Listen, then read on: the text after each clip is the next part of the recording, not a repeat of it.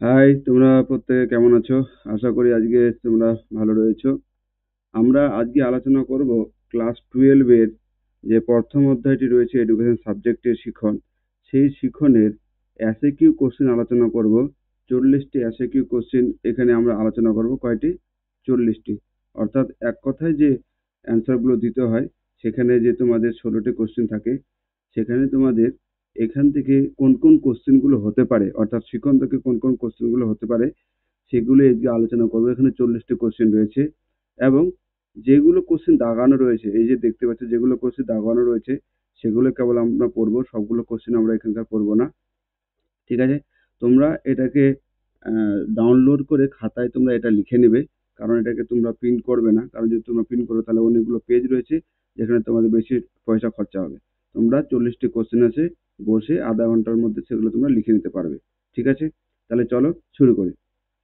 প্রথম কোশ্চেনটি রয়েছে, শিখন বলতে কি বোঝো? তাহলে আমরা এর আগে যখন বড় কোশ্চেন পড়ছিলাম, সেখানে পড়েছিলাম যে অতীত অভিজ্ঞতা এবং প্রশিক্ষণের মাধ্যমে ব্যক্তির আচরণ ধরার স্থায়ী পরিবর্তনের প্রক্রিয়াকে শিখন বলে। ঠিক আছে? সেটা যদি তোমরা মনে রাখো, তাহলে সেটাও হবে। বা এখানে আরেকটা সংজ্ঞা দেওয়া আছে, যেটাতে বলা হচ্ছে অনুশীলন প্রক্রিয়ার দ্বারা প্রাণীর কোনো আচরণের সৃষ্টি বা পরিবর্তনের ঘটানোই হলো শিখন। অর্থাৎ বারবার চেষ্টার মাধ্যমে যখন আমরা নতুন আচরণ নিজের মধ্যে আয়ত্ত করি, তাকেই শিখন বলতে পারি। তারপরে কি বলা হচ্ছে? থন্ডাইক শিখন সম্বন্ধে কি বলেছেন? দেখো, একটা কথা মনে রাখবে। থন্ডাইক, প্যাভলভ এবং স্কিনার, এরা হচ্ছে আচরণবাদী মনোবিদ। অর্থাৎ যতগুলো মতবাদ রয়েছে, তার মধ্যে একটা হচ্ছে আচরণবাদ। যেটি সব থেকে বেশি স্ট্রং সাইকোলজিতে তো। এই প্যাভলভ থন্ডাইক এবং স্কিনার হলো সেই আচরণবাদের বিশিষ্ট তিনজন মনোবিদ। তো এরা বেশিরভাগ কথা বলবে উদ্দীপক এবং প্রতিক্রিয়ার উপর। ঠিক আছে? তাহলে থন্ডাইক প্যাভলভ এবং স্কিনার কথা যখন আসবে, তখন উদ্দীপক আর প্রতিক্রিয়ার কথা তোমরা মনে রাখবে। এই জন্য তিনি এখানে বলেছেন, শিখন হলো উদ্দীপক এবং প্রতিক্রিয়ার মধ্যে যথার্থ কার্যকরী সম্বন্ধ স্থাপনের প্রক্রিয়া। অর্থাৎ উদ্দীপক এবং প্রতিক্রিয়ার মধ্যে কার্যকরী সম্পর্ক স্থাপনকেই শিখন বলেছেন। তারপরে শিখন হলো অতীত অভিজ্ঞতা ও প্রশিক্ষণের মধ্য দিয়ে আচরণ ধরা পরিবর্তনের প্রক্রিয়া।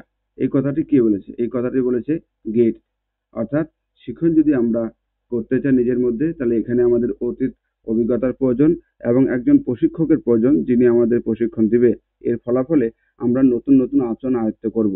এই যে সংজ্ঞাটা, এই সংজ্ঞাটা দিয়েছে মনোবিদ গেট। তারপরে তারপরে কি আরেকটি কোশ্চেন আছে যেটা গ্যাগনে থেকে দেওয়া হয়েছে। এখানে বলা হচ্ছে গ্যাগনের শ্রেণীবিভাগ অনুযায়ী সবচেয়ে উচ্চ পর্যায়ের শিখন কোনটি? অর্থাৎ গ্যাগনে টোটাল টোটাল নয়টি শ্রেণীতে শিখনকে ভাগ করেছেন। সেখানে বলছে যে সব থেকে যেটি উচ্চ পর্যায়ে, সেটা কোনটি? সেটা হচ্ছে সমস্যা সমাধানমূলক শিখন। এবং সব থেকে যেটা নিম্ন পর্যায়ে, সেটা হচ্ছে সিগন্যাল লার্নিং বা সংকেত শিখন। বোঝা গেল? কি? সংকেত শিখন বা সিগন্যাল লার্নিং পরের কোশ্চেনে চলে যাই। পরের কোশ্চেনে বলা হচ্ছে, স্মৃতি বা স্মরণ ক্রিয়া কাকে বলে?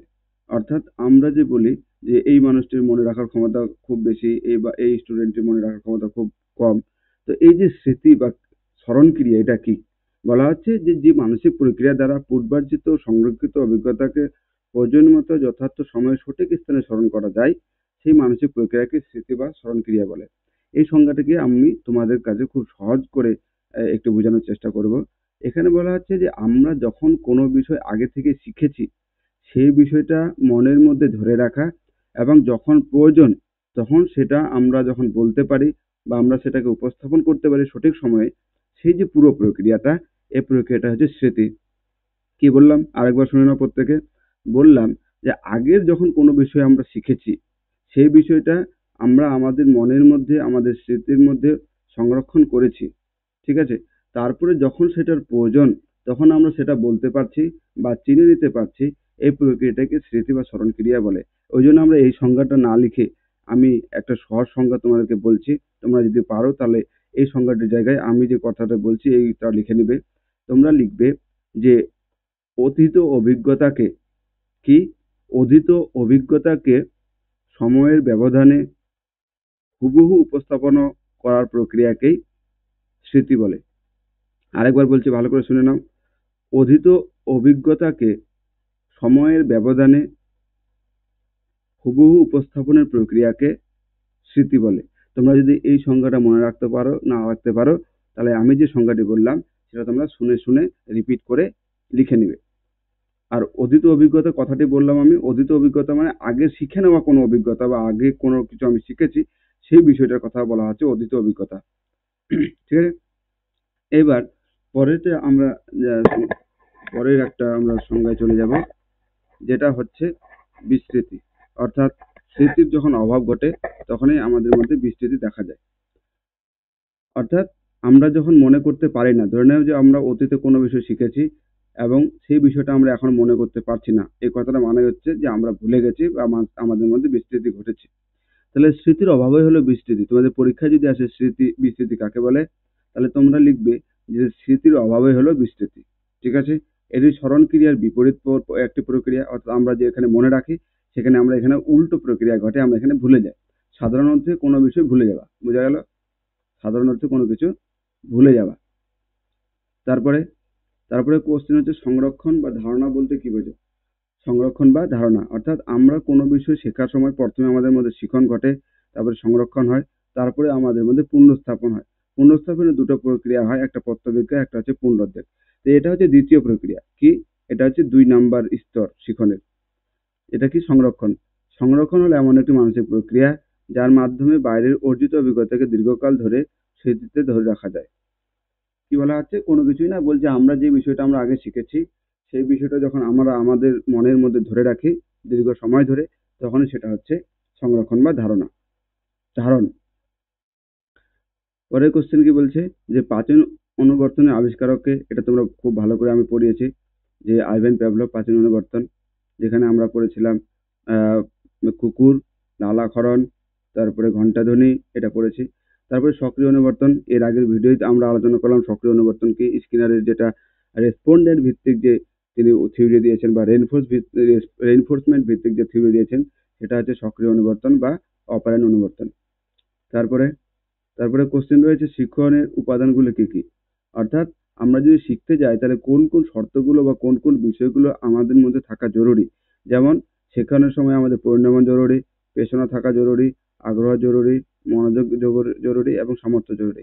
অর্থাৎ কারও যদি পরিণামন না হয়, তাহলে সে শিখতে পারবে না। তার কারোর মধ্যে যদি পেছনা না থাকে কোনো বিষয় শেখার জন্য, তাহলে সে শিখতে পারবে না। আগ্রহ না থাকলে সে মনোযোগ দিতে পারবে না। তাকে মনোযোগ রাখতে হবে সেই বিষয়ে। তাহলে যে বিষয়গুলো শেখার ক্ষেত্রে আমাদের প্রয়োজন, সেগুলো হচ্ছে শিখনের উপাদান। পরের বিষয়ে চলে যাব। পরের বিষয় কি বলছে? পরিণমন। পরিণমনের সংজ্ঞা আমি খুব সুন্দরভাবে তোমাদেরকে যখন বড় কোশ্চেন পড়িয়েছি, তখন দিয়েছি যে পরিণমন এখানে কি বলছে? এখানে দেখে নিই আগে। পরিণমন হলো এমন একটি স্বাভাবিক জৈবিক বিকাশের প্রক্রিয়া যার মাধ্যমে প্রাণীর জন্মগত সম্ভাবনাগুলির স্বতঃস্ফূর্ত বিকাশ ঘটে এবং সেই সঙ্গে তার আচরণের গুণগত ও পরিমাণগত উভয় ধরনের পরিবর্তন সাধিত হয়। অর্থাৎ একজন একটি শিশুর যখন সে জন্মগতভাবে কতগুলো গুণ নিয়ে জন্মগ্রহণ করে, সেই সম্ভাবনাগুলো বা সেই গুণগুলো যখন তার বয়সের সঙ্গে সঙ্গে স্বাভাবিকভাবে সে বিকাশ ঘটে, তখন সেই প্রক্রিয়াকে পরিণমন বলা হয়। ঠিক আছে? তাহলে আমরা এটাকে সহজভাবে এটাকে আরও বলতে পারি এরকম করে যে ব্যক্তির জন্মগত সম্ভাবনাগুলির গুণগত ও পরিমাণগত স্বাভাবিক বিকাশের প্রক্রিয়াকেই পরিণমন বলে। ঠিক আছে?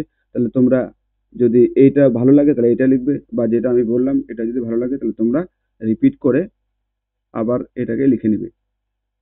এবার বলা হচ্ছে পেশনা চক্র বলতে কি বোঝো? এই যে পেশনা চক্র। বোঝা যাচ্ছে? এই যে পেশনা চক্র। এখানে কি বলা হচ্ছে? বলা হচ্ছে যে যে স্তরগুলি অতিক্রম করলে বা যে স্তরগুলি চক্রাকারে আবর্তিত হলে পেশনা সৃষ্টি হয়, সেই স্তরগুলির এই আবর্তনকে পেশনা চক্র বলে। এই পেশনা চক্র কি হলো? চাহিদা, তারপরে আমাদের মধ্যে আসে তাড়না, তারপরে উদ্দেশ্যমুখী আমরা আচরণ করি, তারপরে উদ্দেশ্য পূরণ হয়। অর্থাৎ এখানে কথাটা বলা হচ্ছে যে, আমাদের মধ্যে যখন আমরা কোনো কাজ করতে মোটিভেট ফিল করি বা পেশনা আমাদের মধ্যে জাগ্রত হয় তখন এই চারটি স্তর আমাদের মধ্যে রয়েছে। যেমন আমাদের ওই বিষয়ে আগে চাহিদা থাকে, তারপরে আমাদের মধ্যে একটা তাড়না তৈরি হয়, সেই চাহিদাটা পূরণ করার। তারপরে আমরা উদ্দেশ্যমুখী আচরণ করি, তারপরে আমাদের মধ্যে উদ্দেশ্য পূরণ হয়। ঠিক আছে? এই যে দেখে নাও। প্রথমে কি? চাহিদা। অর্থাৎ ধরে নাও যে তোমাদের কারও চাহিদা রয়েছে যে আমি একটা সাইকেল কিনবো, তাহলে এটা তোমার নিট তারপরে তুমি তোমার মধ্যে তাড়না তৈরি হলো, কীভাবে আমি এটা সাইকেলটা কিনতে পারি?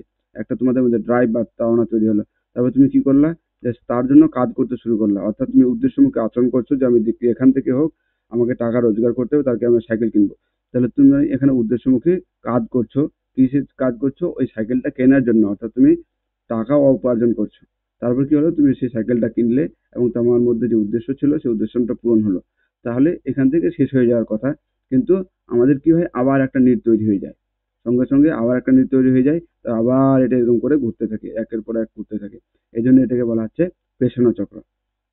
ঠিক আছে? এটা তুমি তারা বুঝতে পেরেছ? এরপরে কোশ্চেনে চলে যায় এরপরে কোশ্চেনে বলা হচ্ছে মনোযোগ কি? অর্থাৎ অ্যাটেনশন কি?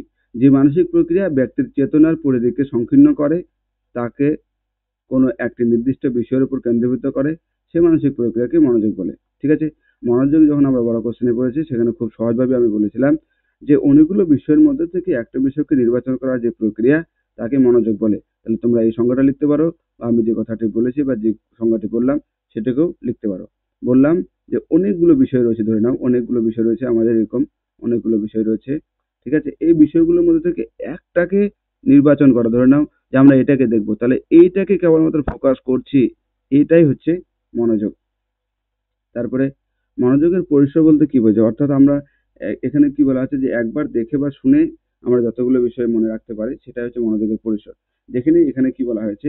বলছে, ব্যক্তি তার চেতনার স্তর কয়েকটি মাত্র বস্তুকে কেন্দ্রস্থ করতে পারে, ফলে ব্যক্তি কোনো বস্তুর উপর যত খুশি মনোযোগ দিতে পারে না। মনোযোগের এই সীমাকেই মনোযোগের পরিসর বলে। এখানে বলা হচ্ছে যে ব্যক্তি একসঙ্গে অনেকগুলো বিষয়ের মধ্যে মনোযোগ দিতে পারে না। একটা নির্দিষ্ট বিষয়ের উপরে তার মনোযোগ থাকে। যতগুলো বিষয়কে ওরা একবারে বা একজন ব্যক্তি একবারই মনোযোগ দিতে পারে, সেই পুরো সীমাটাকে বলা হচ্ছে স্পেন অফ অ্যাটেনশন বা মনোযোগের পরিসর। যেমন ধরে নাও যে তোমাকে আমি একটা লাইন বা দুটো লাইন একসঙ্গে পড়তে বললাম, তুমি দুটো লাইন পড়লে, তারপর তোমাকে বলতে বললাম যে বলো, তুমি কি পড়লে? তাহলে তোমার হাইলি একটা থেকে দুটো লাইনই মনে থাকবে, তারপরে কিন্তু মনে থাকবে না। বা তোমাদেরকে যদি ওয়ার্ড দেখায়, তাহলে তোমাদের ছয়টি ওয়ার্ড এখানে পরপর মনে থাকবে। তোমার যদি মোটামুটি দশটি ওয়ার্ড দেওয়া হয়, তুমি দশটা ওয়ার্ড পড়বে, বিভিন্ন আলাদা আলাদা ওয়ার্ড সেখান থেকে তোমরা হাইলি ছয়টি থেকে সাতটি বার মনে রাখতে পারবে। তাহলে এটাই হলো স্পেন অফ অ্যাটেনশন বা মনোযোগের পরিসর। তারপরে বলা হচ্ছে মনোযোগের বিস্তৃতি।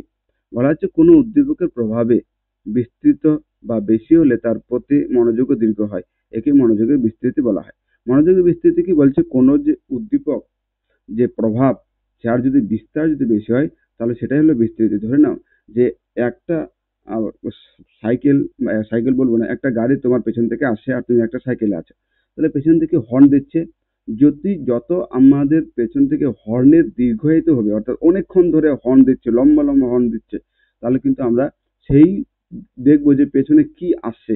আবার কোনো একটা যদি বাইক আস্তে করে একটা হর্ন দিল এসে, তাহলে কিন্তু আমরা সেদিকে সেরকম মনোযোগ দিই না। তাহলে দীর্ঘায়িত বা বিস্তৃত হচ্ছে যে মনোযোগ আমরা সেই বিষয়টাতেই দিই যার বিস্তৃতি বিশাল হয়। অর্থাৎ সামনে একটা আমরা গাড়ি দেখছি, যে গাড়িটা বিশাল। তাহলে আমাদের মনোযোগ সহজে দেবো। একটা যদি ছোট্ট গাড়ি আমাদের সামনে বেরিয়ে যায়, তাহলে কিন্তু আমরা সেক্ষেত্রে মনোযোগ খুব একটা দিই না। তাহলে এটা হচ্ছে মনোযোগের বিস্তার। তারপরে কোশ্চেন হচ্ছে, মনোযোগের বিস্তার মাপক যন্ত্রটির নাম কি?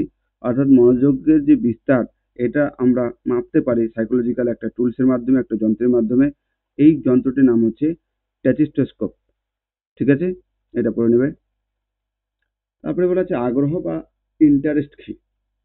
এখানে দেখে নিন এখানে কি বলা হচ্ছে। আগ্রহ বা অনুরাগ হলো বাস্তব বা কাল্পনিক কোনো বস্তু, ঘটনা বা অবস্থার প্রতি এক বিশেষ কৌতূহলপূর্ণ অনুভূতি যা ব্যক্তিকে ওই বিষয়টি সম্পর্কে উদ্বুদ্ধ করে ও তাকে মনোযোগী করে তোলে। এখানে যে সংজ্ঞাটি রয়েছে, এই সংজ্ঞাটি যথেষ্ট বড় রয়েছে। আমি একটা সংজ্ঞা তোমাদেরকে বলছি, তোমরা এটা ভালো করে শোনো এবং এটাই লিখবে। তোমরা লিখবে যে মানসিক ক্ষমতার বা যে মানসিক প্রবণতা কারণে ব্যক্তি কোনো ব্যক- বস্তু বা ব্যক্তির প্রতি টান অনুভব করে বা আকর্ষণ অনুভব করে, তাকে আগ্রহ বা অনুরাগ বলে। কি বললাম? আরেকবার বলছি, ভালো করে শোনো। যে মানসিক প্রবণতার কারণে কোনো ব্যক্তি, কোনো বস্তুর সাথে বা ব্যক্তির সাথে একটি স্বাভাবিক টান অনুভব করে বা আকর্ষণ অনুভব করে সেই মানসিক প্রবণতাকে আগ্রহ বা অনুরাগ বলে। তারপরে পরে কোশ্চেন কি? বলা হচ্ছে, কোন মনোবিদ আগ্রহকে সুপ্ত মনোযোগ বলেছেন? অর্থাৎ আমরা সেটা পড়েছিলাম যে ম্যাকডুগাল ইন্টারেস্টকে ল্যাটেন অ্যাটেনশন বলেছেন। অর্থাৎ আগ্রহ হলো সুপ্ত মনোযোগ। তারপরে কোশ্চেন কি হয়েছে? ইলেকট্রিক থিওরি এর প্রবক্তাকে।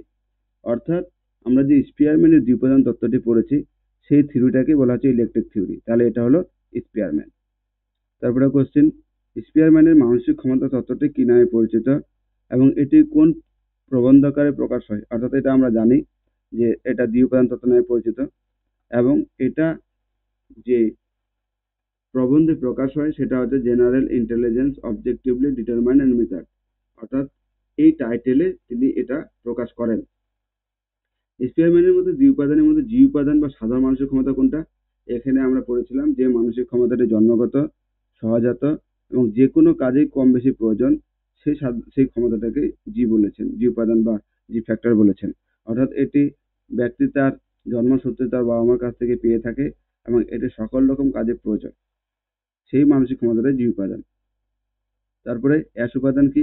অর্থাৎ স্পিয়ারম্যানের যে দ্বিতীয় উপাদানটার কথা বলেছেন অ্যাস উপাদান কি? বলা হচ্ছে যে যখন কোনো একজন ব্যক্তি জন্মগ্রহণ করার পর যে ক্ষমতাগুলো অর্জন করে বা যে কর্মদক্ষতাগুলো অর্জন করে, সেগুলোকে বলা হচ্ছে বিশেষ মানসিক ক্ষমতা, যেটি ব্যক্তি জন্মগ্রহণ করার পর আয়ত্ত করে। যখন কোনো একটি কাজের জন্য ব্যক্তি সাধারণ মানসিক ক্ষমতার পাশাপাশি কোনো বিশেষ সামর্থ্যের প্রয়োজন হয় এবং ওই কাজ ছাড়া অন্য কোনো কাজে তা ব্যবহৃত হয় না, তাকে বিশেষ মানসিক ক্ষমতা বলে। অর্থাৎ একটি একটি ক্ষমতা, এটা একক ক্ষমতা যে ক্ষমতাটি কোনো একটা বিশেষ কাজে প্রয়োজন হয়, সকল রকম কাজের প্রয়োজন হয় না। যেমন ধরে নাও যে কেউ ডান্স করতে ভালো জানে, তাহলে ও কিন্তু ডান্স করতে শিখেছে। এবার ডান্স করা কিন্তু রান্নার সঙ্গে কিন্তু মিলবে না, অর্থাৎ রান্না করার যে যে ক্ষমতা দরকার, সেখানে কিন্তু ডান্স করার ক্ষমতা মিলবে না। তাহলে এটা প্রত্যেকটি কাজে ব্যবহার হয় না এই জন্য এখানে বলেছে যে এটি অন্য কোনো কাজে ব্যবহৃত হয় না। তারপরে কি বলা হচ্ছে? তারপরে বলা হচ্ছে যে স্পিয়ারম্যানের জি এর সঙ্গে তুলনায় ক্যাটেলের কোন ধরনের বুদ্ধির কথা বলেছেন? অর্থাৎ স্পিয়ারম্যানের জি উপাদান আর ক্যাটেল দু প্রকার বুদ্ধির কথা বলেছেন, একটা হচ্ছে তরল বুদ্ধি আর একটা হচ্ছে কৈলাসিত বুদ্ধি। তাহলে বলছি যে স্পিয়ারম্যানের কোন বুদ্ধির সঙ্গে ক্যাটেলের কোন বুদ্ধির মিল রয়েছে? তাহলে স্পিয়ারম্যানের জি উপাদানের সঙ্গে ক্যাটেলের যে তরল বুদ্ধি বা ফ্লুইড ইন্টেলিজেন্স তার সম্পর্ক রয়েছে। ঠিক আছে? ক্যাটেল এ এবং বি বুদ্ধি ক্যাটেল এই তরল বুদ্ধি এবং কৈলাসিত বুদ্ধির কথা বলেছে। তো স্পিয়ারম্যান যে বুদ্ধিকে জি নামে অভিহিত করেছে, ক্যাটেল কিন্তু ওই বুদ্ধিকেই তরল বুদ্ধি বলে অভিহিত করেছে, যেটা হবে সহজাত, জন্মগত এবং সকল প্রকার কাজে এটা লাগে কাজে লাগে।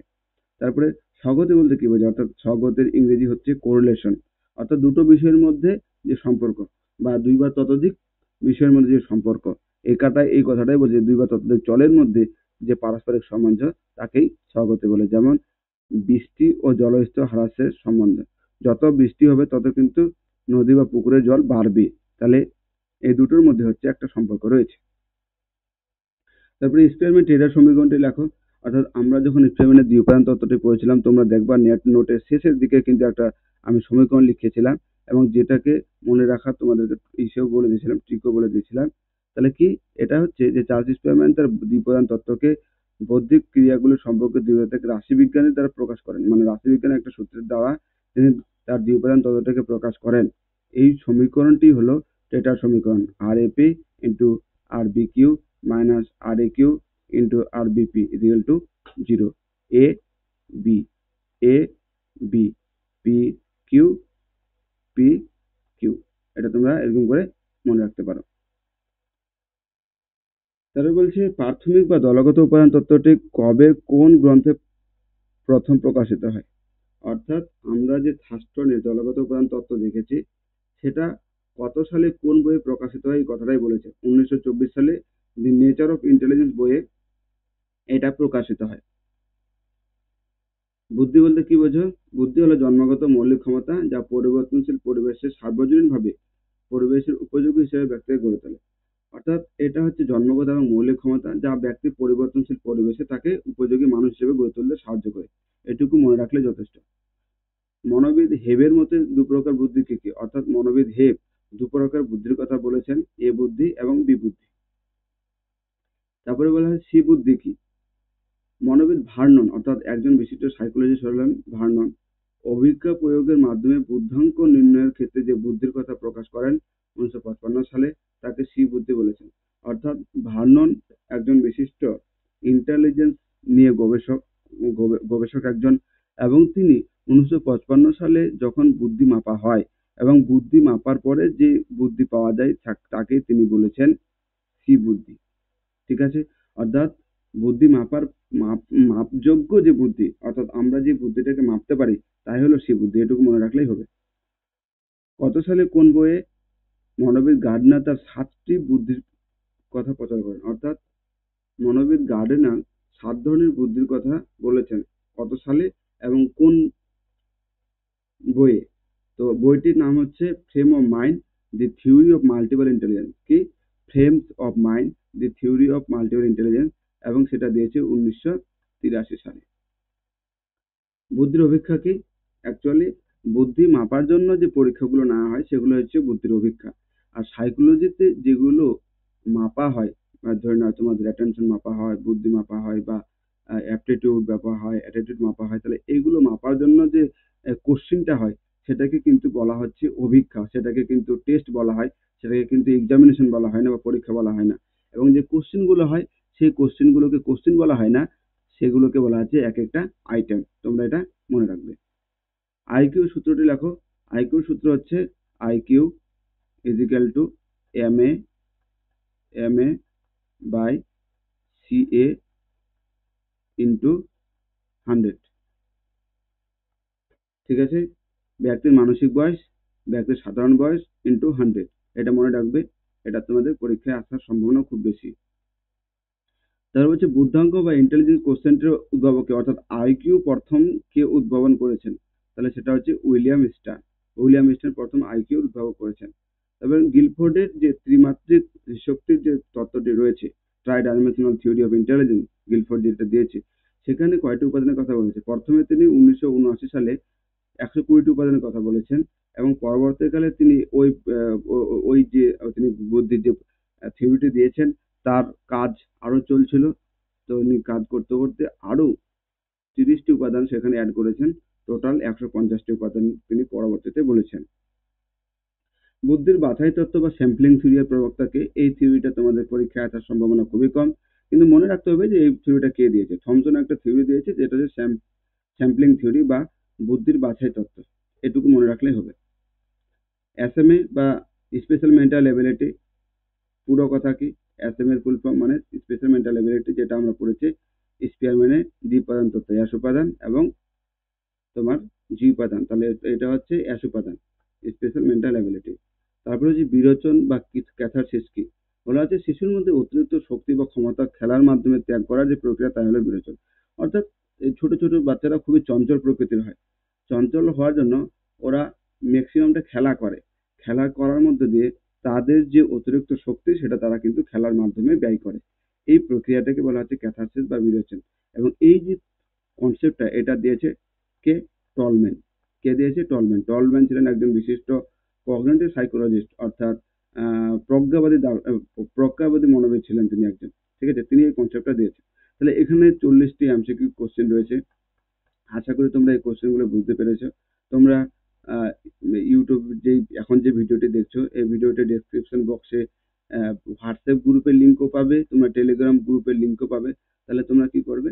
টেলিগ্রামে জয়েন হয়ে যাবে এবং এই নোটটি ডাউনলোড হবে। এবং কেউ যদি নতুন হয়ে থাকো, তাহলে চ্যানেলটিকে অবশ্যই সাবস্ক্রাইব করে দেবে। এবং টেলিগ্রাম বা হোয়াটসঅ্যাপে জয়েন হয়ে যাবে, তাহলে ওখান থেকে সব নোট এবং সব লিঙ্ক ভিডিও তোমরা পেয়ে যাবে। ঠিক আছে? তাহলে আজকে এই পর্যন্ত থাকুক। এর পরবর্তীতে আমরা এই অধ্যায়ের উপর এমসিকিউ ভিডিও নিয়ে আসব এবং আমাদের যে শিডিউল ওয়াইজ যে ক্লাস রয়েছে প্রত্যেক সোমবার এবং বৃহস্পতিবার রাত্রি আটটায়, সেটা আমাদের ব্রড কোশ্চেনের উপর হয়। সেটা সেরকম করে চলতে থাকবে। ঠিক আছে? তাহলে ধন্যবাদ।